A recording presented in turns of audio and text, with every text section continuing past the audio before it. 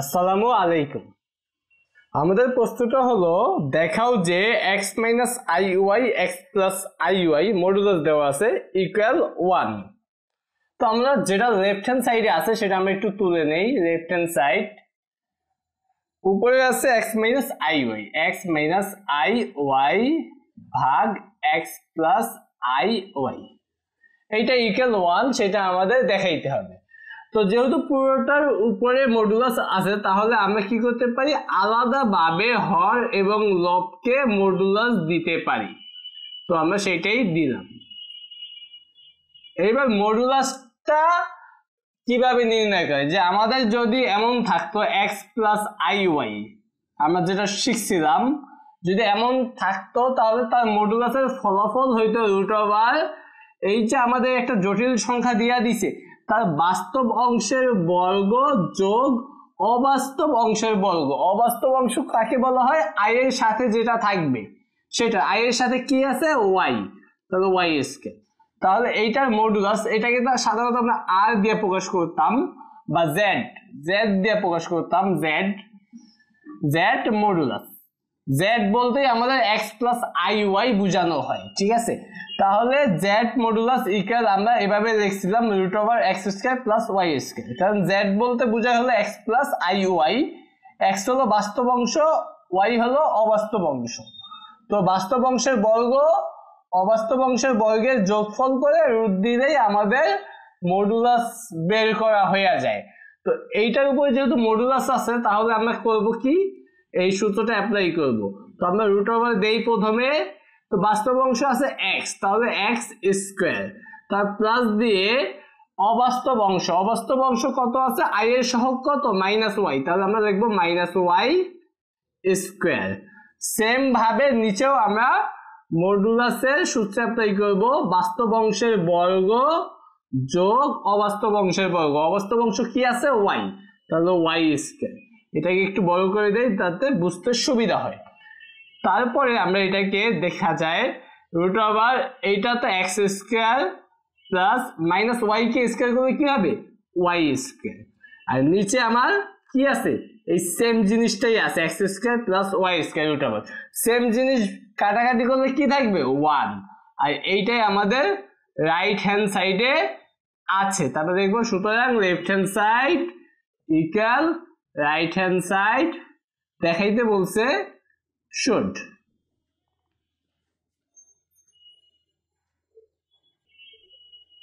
এই প্রশ্নটা হলো, বলে দিছে z equal x plus i y এবং থ্রি মডুলাস দিয়ে z minus one equal two z minus two modulus দিয়ে। প্রমাণ করতে হবে five x square plus y square equal two x plus seven তো আমাদের যেটা দেওয়া আছে, দেখব।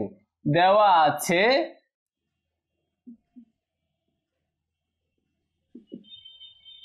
দেওয়া আছে z equal x plus i y এটা দিয়ে দিছে এবং আরেকটা জিনিস দিয়ে দিছে এবং আরেকটা জিনিস দিয়ে দিছে থ্রি মডুলাস দিয়ে z minus one equal two modulus দিয়ে জেড মাইনাস টু তো আমাদের প্রমাণ করতে বলছে five into x square plus y square equal two x plus seven সেটা আমরা প্রমাণ করে ফেলব। তো প্রথমত আমরা এটাকে থ্রি জেড এর মানটা বসাই দিব। এই যে এই সমীকরণটা দিয়েই আমরা প্রমাণটা করে ফেলব। এখানে জেড এর মানটা বসাই দিব। জেড এর মান কি আছে? এক্স প্লাস আই ওয়াই সেটা আমরা লিখে ফেললাম। তারপর মাইনাস ওয়ান মডুলাস ক্লোজ করলাম ইকুয়াল দিয়ে টু এখানেও আমরা জেড এর মানটা বসাই দিব x plus i y minus two এইবার আমরা একটা কাজ করতে পারি, সেটা হলো বাস্তব অংশ। দেখো, এটার সাথে আই নাই, এটার সাথেও আই নেই। যার সাথে আই নেই, সে বাস্তব অংশ। তার মানে এক্স মাইনাস ওয়ান একসাথে আমরা লিখলাম। তারপর প্লাস দিয়ে আই ওয়াই লিখলাম। মানে বাস্তব অংশ এবং অবাস্তব অংশ আলাদা করলাম। ইকুয়াল টু এটাকে দেখতে পাবো সেম ভাবে এক্স মাইনাস টু বাস্তব অংশ প্লাস আই ওয়াই মানে অবাস্তব অংশ আলাদা করলাম। এইবার এটার মডুলাস করব। মডুলাস কীভাবে করে? যে যদি মডুলাস থাকে, তাহলে আমাদের প্রথমে একটা রুট দিতে হয়। রুট দিয়ে বাস্তব অংশের বর্গ। বাস্তব অংশ কি আছে? এক্স মাইনাস ওয়ান এটাকে বর্গ করতে হবে। তো প্লাস দিয়ে অবাস্তব অংশের বর্গ। অবাস্তব অংশ কি আছে? ওয়াই মানে অবাস্তব মানে আই এর যে সহগটা, ঠিক আছে? তাহলে ওয়াই এর স্কোয়ার। তো এই পাশ করাটা শেষ মডুলাসের সূত্রে অ্যাপ্লাই করছি। ইকুয়াল দিয়ে আমার সেম ভাবে এই পাশেও আমরা সেম কাজটা করব। টু দি রুট দিলাম, বাস্তব অংশ আছে এক্স মাইনাস টু তাহলে x minus two square plus এখানে আছে ওয়াই তাহলে ওয়াই স্কোয়ার আই এর সহগ যেটা, সেটাই অবাস্তব অংশ। এইবার এটাকে ক্যালকুলেশন করার জন্য দেখতেছি উভয় পাশে রুট ওভার আছে, তাই আমরা উভয় পাশে বর্গ করে ফেলব। তো বর্গ করলে থ্রি কে বর্গ করলে হবে নাইন আর এটাকে বর্গ করলে আমার যা আছে তাই থাকবে। আমরা সেকেন্ড ব্র্যাকেট দিয়ে লিখে দেই x minus one square plus y square কারণ এটাকে বর্গ করলে রুটটা কাটা যাবে। রুট কিন্তু আমরা বাদ দিয়ে দিছি সেম ভাবে এই পাশেও আমরা বর্গ করতে হবে, কারণ এক পাশে তো বর্গ করা যাবে না। দুই পাশেই বর্গ করতে হবে। টু কে বর্গ করলে ফোর এইটাকে বর্গ করলে রুটটা কাটা যাবে। তাহলে পুরোটাকে আমরা সেকেন্ড ব্র্যাকেট দিয়ে লিখে ফেললাম। এইবার এইটাকে আমরা নাইন লিখলাম এইটাকে সূত্রে অ্যাপ্লাই করে ফেলব। ফার্স্ট ব্র্যাকেট দিই, যেহেতু ভিতরে আর ব্র্যাকেট থাকবে না। এটাকে এক্স মাইনাস ওয়ান স্কোয়ার এটাকে এ মাইনাস বি হোল স্কোয়ারের সূত্রে অ্যাপ্লাই করব। তাহলে হবে x square minus two x plus one তারপর এখানে আছে ওয়াই স্কোয়ার তারপর ব্র্যাকেটটা ক্লোজ করি। এখানে ফোর এখানেও আমরা a minus b whole square সূত্রে অ্যাপ্লাই করব। তাহলে হবে x square minus four x plus four plus y square তারপরে আমরা এটাকে কি করতে পারি? সবার সাথে নাইন গুণ করে দিতে পারি। তাহলে হবে কি? Nine x square minus eighteen x plus nine plus nine y square আর এই পাশে আমরা ফোর দিয়ে গুণ করে দিই, তাহলে four x square minus sixteen x plus sixteen plus four y square এইবার আমরা যেটা প্রমাণ করতে হবে, সেখানে আমরা দেখছি এক্স স্কোয়ার ওয়াই স্কোয়ার হলো বাম সাইডে তাহলে এক্স স্কোয়ার আর ওয়াই স্কোয়ার বিশিষ্ট পদগুলো একসাথে থাকুক। যেমন নাইন এক্স স্কোয়ার রাখলাম, আর এখানে নাইন ওয়াই স্কোয়ার ঠিকঠাক থাকল।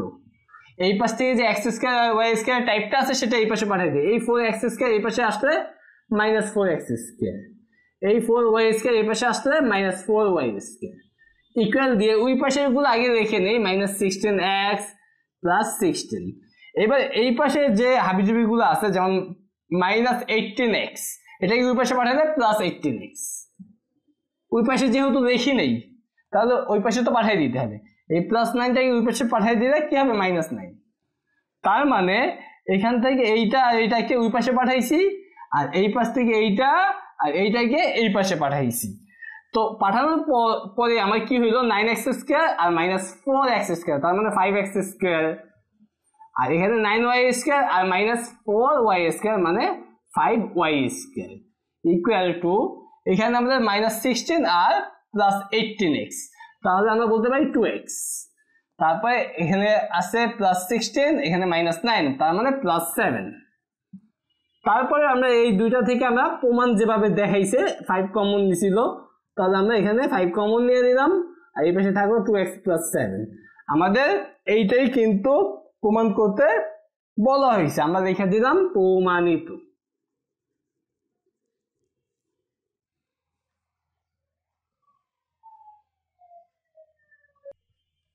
তো তিন নম্বর প্রশ্নটা আমাদের z equal x plus i y এবং modulus two z minus one equal modulus z minus two হলে প্রমাণ করো যে x square plus y square equal one আগের প্রশ্নটার মতোই একদম হুবহু বলা যাইতে পারে।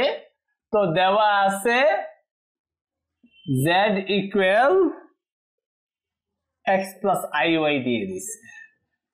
আচ্ছা এবং আরেকটা জিনিস দিয়ে দিছে, যেটা দিয়েই আমরা প্রমাণটা করব, সেটা হলো মডুলাস দিয়ে টু জেড মাইনাস ওয়ান এবং ইকুয়াল দিয়ে মডুলাস জেড মাইনাস টু এতটুকু দিয়ে দিছে। তো প্রমাণ করতে হবে x square plus y square equal one তো আমরা প্রথমে কি করব? এই জেড এর মানটা বসাবো। টু লিখলাম টু এর সাথে তো জেড গুণ আকারে আছে। এই জন্য ব্র্যাকেট দিয়ে জেড এর মানটা বসাই দিই। জেড এর মানটা কত আছে?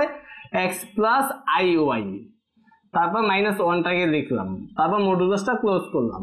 এখানেও জেড এর মানটা বসাই দিই। X plus i y minus two তারপরে এখানে আমরা যেহেতু টু গুণকার এসছে, তাহলে টু গুণ করে দিই। তাহলে two x plus two i y আর এখানে আমাদের হইতেছে মাইনাস ওয়ান ইকুয়াল দিয়ে এখানে আমাদের যা আছে তাই থাকুক। এইবার আমরা একটু বাস্তব অংশ এবং অবাস্তব অংশ আলাদা করি। যেমন এখানে বাস্তব অংশ হলো টু এক্স এবং মাইনাস ওয়ান এটাকে ব্র্যাকেট দিয়ে দেখলাম প্লাস দিয়ে এই যে আই এর সহ কি? টু ওয়াই সেটাকে আলাদা করে দেখলাম। টু আই ওয়াই দেখলেও হবে, কোনো অসুবিধা নাই। তো এখানে আমরা এক্স মাইনাস টু কে আলাদা করলাম, বাস্তব অংশ, আর আই ওয়াই কে আলাদা করলাম। এইবার আমরা মডুলাস আছে মডুলাসের সূত্র অ্যাপ্লাই করব। এখানে বা হবে সবগুলোতেই। তো মডুলাসের সূত্র কি? প্রথমে একটা রুট দিতে হবে, তারপর বাস্তব অংশের বর্গ মানে two x minus one square plus দিয়ে অবাস্তব অংশের বর্গ। অবাস্তব অংশ আছে কি এবার? টু ওয়াই তাহলে টু ওয়াই স্কোয়ার ইকুয়াল দিয়ে এখানেও আমাদের মডুলাস আছে, তাহলে আমরা মডুলাসের সূত্র অ্যাপ্লাই করব। বাস্তব অংশের বর্গ যোগ অবাস্তব অংশের বর্গ। এইবার দেখতেছি উভয় পাশে রুট আছে, তাহলে আমরা উভয় পাশে বর্গ করে দেই, তাহলে রুট দুইটা কাটা যাবে। তাহলে two x minus one square plus two y square equal এখানে হবে x minus two square plus y square এইবার আমরা কি করব? সূত্র অ্যাপ্লাই করব। যেমন এটাকে আমরা a minus b whole square সূত্র অ্যাপ্লাই করব। তাহলে four x square minus four x plus one এইটাকে শুধু একটা জিনিস স্কোয়ার তার মানে এটাকে করলে হবে ফোর ওয়াই স্কোয়ার টু এইটাকে আমরা a minus b whole square সূত্র অ্যাপ্লাই করব, তাহলে x square minus four x plus four এখানে আছে ওয়াই স্কোয়ার তো এইবার আমরা দেখতেছি মানে সংখ্যাগুলোকে এক সাইডে রাখি, যেমন আমরা দেখছিলাম প্রমাণ করতে হবে x square plus y square equal one তো আমরা এই ফোর এক্স স্কোয়ার লিখলাম মাইনাস ফোর এক্স লিখলাম, তারপর এই ওয়ানটাকে আমি পাশে পাঠিয়ে দিব প্লাস ফোর ওয়াই স্কোয়ার লিখলাম, এই এক্স স্কোয়ার এই পাশে পাঠিয়ে দিই মাইনাস এক্স স্কোয়ার এই মাইনাস ফোর এক্স এই পাশে পাঠিয়ে দিই প্লাস ফোর এক্স এই ওয়াই স্কোয়ার ওই পাশে পাঠিয়ে দিই মাইনাস ওয়াই স্কোয়ার ইকুয়াল এই পাশে থেকে যাবে ফোর মানে যাকে পাঠাই নেই তাকে আগে দেখলাম আর এই পাশ দিয়ে কাকে পাঠাবো? অনকে পাঠাবো অনকে পাঠাই দিই মাইনাস ওয়ান তো এখান থেকে আমাদের কি থাকতেছে একটু দেখি। Minus four x plus four x বাদ। ফোর এক্স স্কোয়ার থেকে মাইনাস এক্স স্কোয়ার তার মানে থ্রি এক্স স্কোয়ার আবার ফোর ওয়াই স্কোয়ার থেকে মাইনাস ওয়াই স্কোয়ার মানে থ্রি ওয়াই স্কোয়ার আর এই পাশে আছে আমার ফোর মাইনাস ওয়ান মানে থ্রি এইবার প্রত্যেকটা পদকে যদি আমি থ্রি দিয়ে ভাগ করি সবাইকে থ্রি দিয়ে যদি ভাগ করি, তাহলে আমার কি থাকবে? X square plus y square equal one আর এইটাই আমাদের প্রমাণ করতে বলা হয়েছে।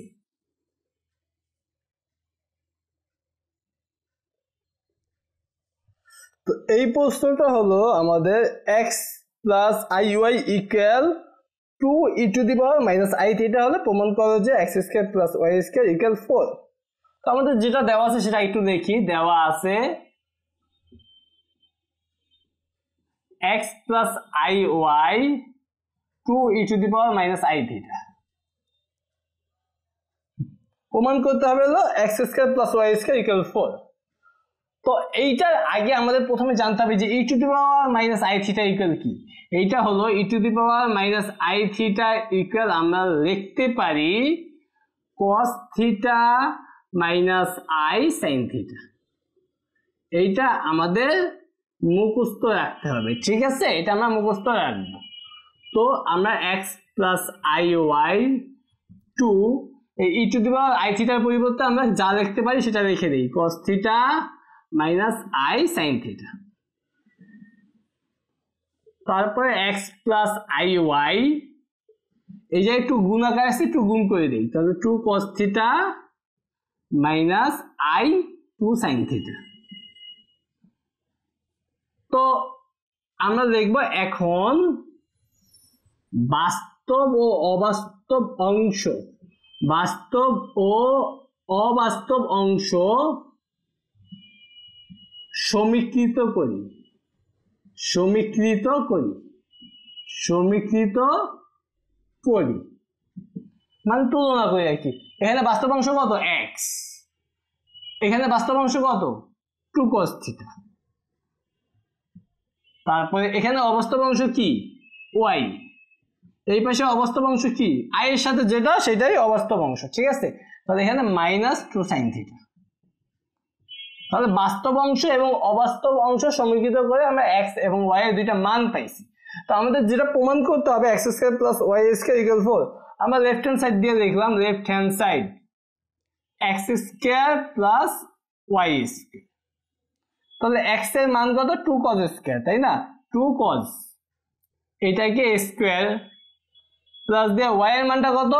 মাইনাস টু সাইন থিটা যেহেতু ওয়াই স্কোয়ার তাহলে মাইনাস টু সাইন থিটাকে স্কোয়ার তাহলে এবার যদি স্কোয়ার করি টু কস থিটাকে স্কোয়ার করলে হবে ফোর কজ স্কোয়ার থিটা আবার মাইনাস টু সাইন থিটাকে স্কোয়ার করলে হবে four sine square theta minus two কে স্কোয়ার করলে ফোর কারণ মাইনাস কে স্কোয়ার করলে মাইনাস থাকে না। এবার ফোর কমন নেই ফোর কমন নিলে cos square theta plus sine square theta এইবার বলো sine square theta plus cos square theta মানে কত? অবশ্যই ওয়ান তাহলে ফোর ইন্টু ওয়ান তাহলে এটাকে লিখব ফোর এটা মানে কি? রাইট হ্যান্ড সাইড কি করতে বলছে? প্রমাণ করতে বললে প্রমাণিত, দেখাইতে বললে দেখানো হলো। প্রমাণিত।